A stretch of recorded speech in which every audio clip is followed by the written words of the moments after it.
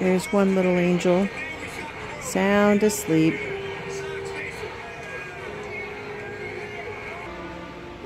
And here is our other little angel, all curled up, dreaming about bones, running around.